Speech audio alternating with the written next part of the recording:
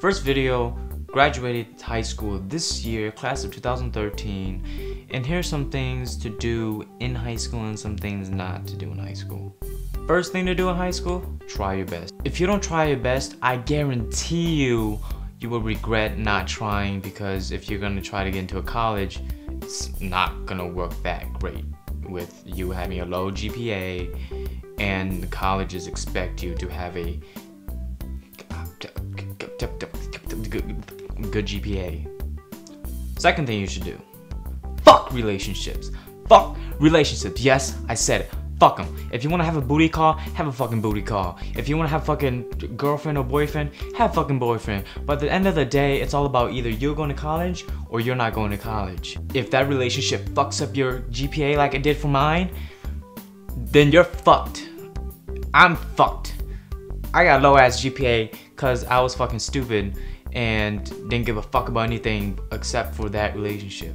Trust me, fuck relationship. If it doesn't move on, fucking move on. Be like, bitch, I don't give a fuck about you. Move the fuck on.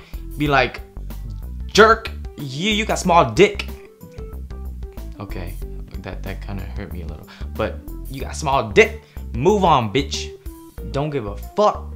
You move on and continue your schoolwork. Honestly, focus on your schoolwork first and then try to work out the relationship. Third thing to do, go to school.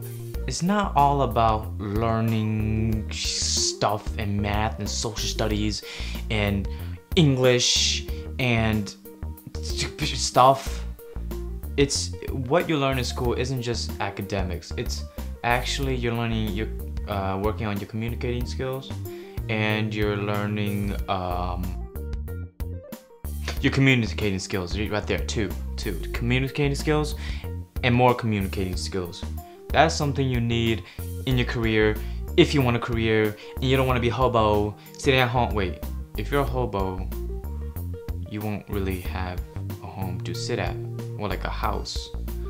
So cut. Fourth thing to do figure out your career.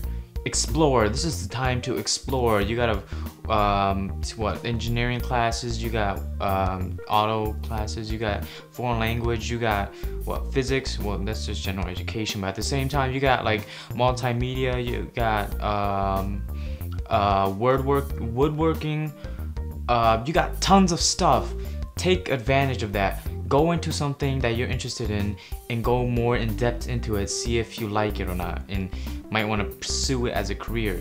Figure it out Figure it out. Because once you go to college, you're gonna be undecided, you're gonna waste the fucking money, and in this economy, money can't be wasted, bitch! Fifth thing to do.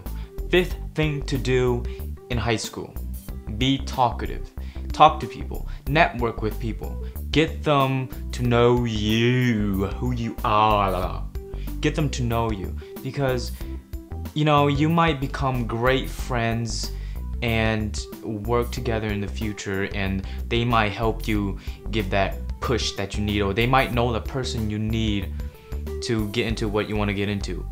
Get to know people talk to people. I don't give a fuck what people think of me i talk to them like sup dog not not really. Talking to people will make your life so much easier. First day of school tons of people you don't know anybody in that class you don't know anyone so there's like a guy right there. It's like an emo chick. There's like that that one bitch that always screams really loud. It was like that that one jock. Talk to him. Talk to them. You know that emo chick might be smart. That jock might uh, be your best friend and protect you from all the bullies. Honestly, it will help. First thing not to do get too involved in relationships. I already said this, but first thing not to do, don't get too involved in relationships. Put school first. School first, then relationships. Trust me, it will turn out for the better. Better.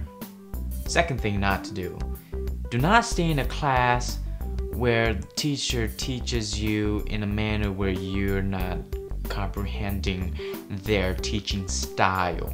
So if there's a teacher giving you notes and they're not going over the notes or anything they're not doing any of that they're not you know answering your questions they're just there to be the teacher Don't stay in the class. Move to another class. Sure, you're supposed to be a young adult and search up your own shit, but trust me, as a young adult myself, you don't want to do that shit. It's, it'd be a lot easier for you to switch your classes, get into a class that's actually, you know, you're actually learning something, actually learning something and enjoying the class. Honestly, I hate math and I'm Asian. I know it makes no sense. Mind blowing.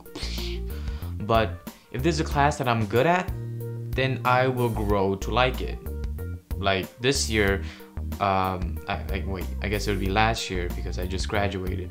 Last year, I, I, I had a really great math class. I, I liked it because I knew what I was doing. I understood the work. That's the only reason why I liked it. On the other hand, if I didn't understand what the teacher was teaching, I would hate the class and not want to go to the class. 3. Don't give a fuck about what anyone thinks of you. I'll go more into detail on this topic in another video, but don't give a fuck. Don't even care. 4. Don't be quiet.